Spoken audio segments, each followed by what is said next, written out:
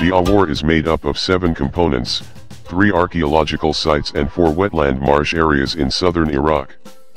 The archaeological cities of Uruk and Ur, and the Tel Eridu archaeological site, form part of the remains of the Sumerian cities and settlements, that developed in southern Mesopotamia, between the 4th and the 3rd millennium BCE, in the marshy delta of the Tigris and Euphrates rivers.